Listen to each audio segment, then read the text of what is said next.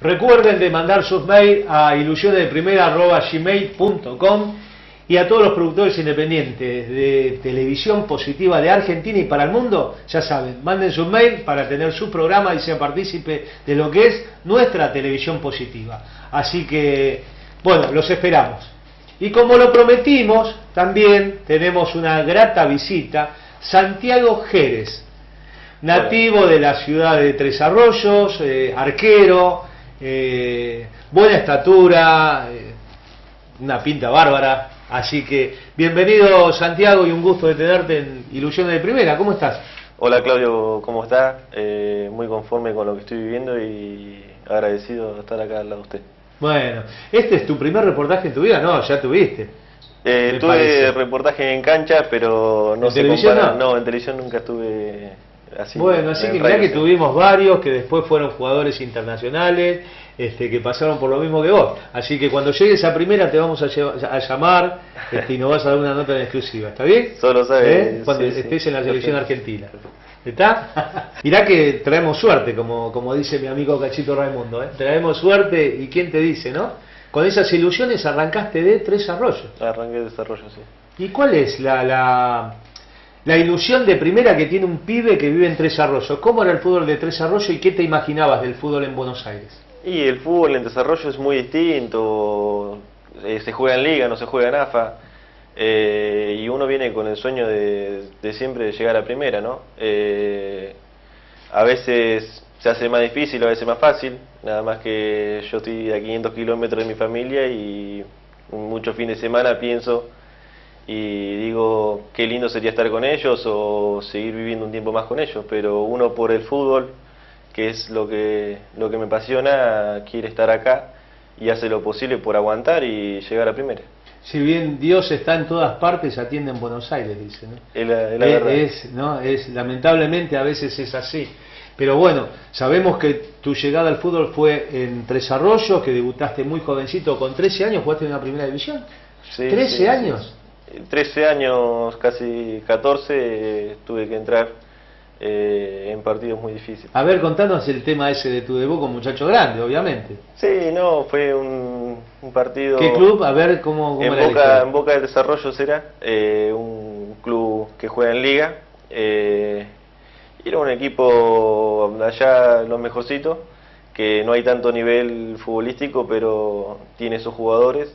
Y me tocó empezar a entrenar con ellos, que era muy distinto a entrenar con inferiores eh, no había gimnasio, pero si bien, si bien no había lo que pensábamos en algún día ser profesional, lo hacíamos. El entrenamiento era más intensivo, o sea, El entrenamiento en primera era mucho más intensivo que en inferiores. En inferiores éramos, si bien teníamos muy buenos técnicos, eh, era mucho más con pelota, no era tanto correr y después cuando llegué a entrenar con primera se corría, teníamos entrenador arqueros y era muy distinto.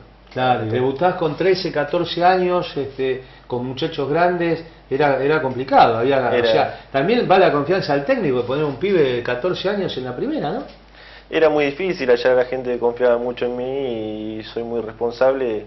Creo que, que siempre que hago algo trato de hacerlo de la mejor manera y siempre siendo profesional.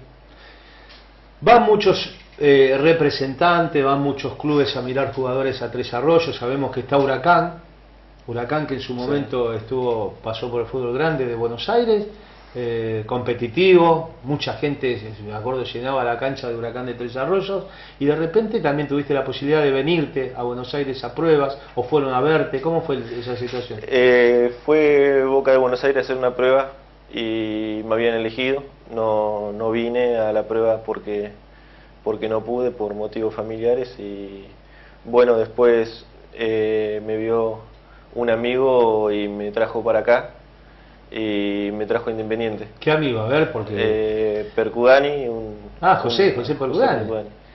Eh, me trajo a Independiente y también me trajo Ramón Burgos. Ah, y tuve un mes a prueba y bueno, extrañar, estar en pensión no, no, no me conformo del todo. Muy chico, ¿no? Y era muy chico, sí, tenía 14 años. 14 años, estar lejos de la familia. Ahora no tenés mucha, o sea, mucha diferencia de edad. Hoy por hoy tenés 10 y 16. 16 años. Y haces nuevamente tu llegada acá a, a Buenos Aires, de la mano de José. nuevamente. Claro, fue. Sí, es fue un tipo él, que tiene, se ve que tiene mucha confianza Sí, en vos. tiene mucha. Es amigo, ¿no? Y eso ayuda mucho al jugador. Claro, claro, claro. Y te trae a un club de la B este, que no reunía las condiciones que vos pretendías. No, uno cuando viene, por lo menos mi parte, vengo a ser, a ser profesional y a querer adquirir felicidad en el fútbol, ¿no? Eh, siempre vengo a estar cómodo, no, vengo solo por eh, la economía o esas cosas, vengo a ser feliz haciendo lo que me gusta. Y me contaste fuera de cámara de que, de que, de que, bueno, no estabas tan, tan conforme por el tema del trabajo, que le faltaba trabajo, si bien hiciste una pretemporada, te fuiste a, a a hacer una pretemporada, pero no estaba realmente lo que vos buscabas. Y de repente ap- aparece la posibilidad de jugar un partido amistoso en Camioneros. Sí. eh, Camioneros, un equipo que decimos que no tiene tanta historia, pero ¿qué pasó? A ver, contanos ese día. Ese, bueno, llegué a, a Camioneros, eh, me parece que jugamos contra la primera división y uno cuando ve el predio se, se impone, ¿no? Eh, muy lindo club y las instalaciones que tenía me llegaron, me llegaron a ilusionar, ¿no? Pero, o sea, te vio el técnico de la primera división. Con 16 años, atajar contra el equipo de la primera división, Sí. que hoy por hoy juega el Argentino B, pero tiene jugadores como Frangipane, tenía jugadores Fischer, tipos muy importantes que pasaron por el fútbol argentino. Y de repente este, tuviste una actuación muy, Sí, muy sí. destacada, muy buena. Sí, tuve la suerte de tener un gran partido y eh, me llevó a tener otra ilusión más que Almagro, era, ¿no? Y me pareció correcta la decisión de ir a jugar al inferior de Caminero. O sea, de- de- tuviste que decidir vos, decidiste exclusivamente vos. Viste dónde Sí. había, dónde podías estar más cómodo y arrancaste para el lado de camioneros. Y las sensaciones, te encontrás con Carlos eh, Amodeo, eh, un muchacho, obviamente todo el mundo del fútbol saben que fue como jugador y como técnico, y hoy se encuentra al mando de, de- de la institución como coordinador. Sí, como coordinador. Eh, Llegaste a una prueba, obviamente, después de que vio el sí, técnico sí. de primera, llegaste a una prueba con Carlos Amodeo. Sí, llegué a una prueba y ahí nomás a los 3-4 días me dijeron que, que podía estar en el club si quería. Eh, obviamente acepté la propuesta porque veía que los chicos tenían su, su linda ropita, eh, había mucho orden y para jugar de fútbol cuando hay orden y hay elementos para entrenar, eh, ayuda mucho al sacrificio del jugador. Y obviamente que hay muy buenos profesionales. Sí, hay muchos jugadores en primera división que son muy profesionales y tienen mucho orden en, en el equipo.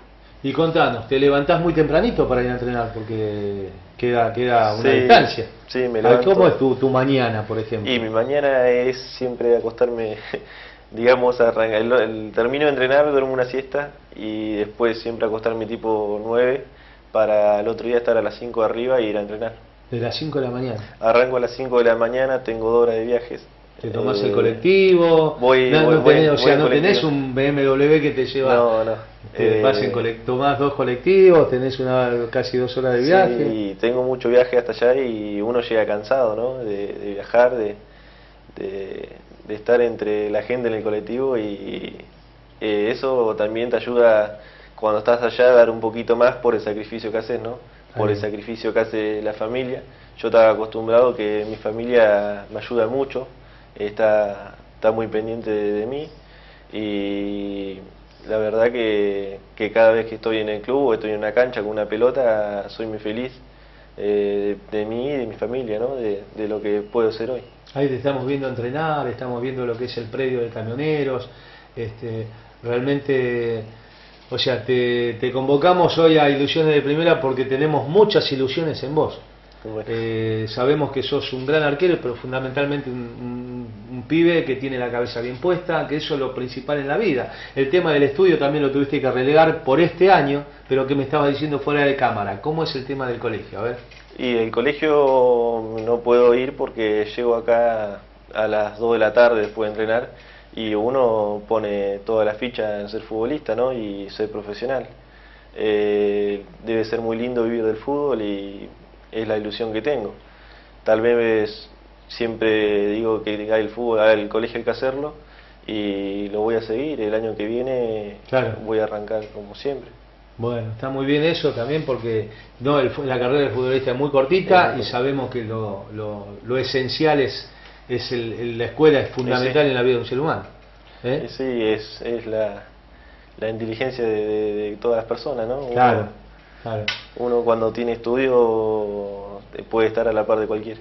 Exactamente, así que eh, bueno, para ir cerrando, te agradecemos, este, Santiago, esta visita, esta charla que tenemos, eh, la familia, a 500 kilómetros, los amigos, este, vos sabemos como, como decís que postergás un montón de cosas, por esto, que no es un sacrificio para el fútbol, es, muy, lindo, te vemos en el día a día muy feliz, te vemos que, que te levantás muy feliz y te acostás muy feliz, que haces lo que te gusta, y bueno, y apostando. Ahí tenés las cámaras para tus amigos de allá de Tres Arroyos, para tu familia, para tus técnicos, tus compañeros de, Boca, de esos equipos eh, que pasaron por, por tu vida. Si bien tenés todavía una vida muy cortita como jugador, este, te deseamos lo mejor. y bueno, y ahí tenés para, para saludar. Bueno, a todos los jugadores que han jugado conmigo, creo que fue muy lindo haber compartido cancha con ustedes. Eh, a los técnicos muy agradecido de haberme formado y principalmente a mi familia, que es la que me apoya día a día. ¿no? Eh, un saludo a mi hermano, a los chicos del colegio que fueron mis compañeros y bueno, muy, muy agradecido de, de todos los que me apoyan. Bueno.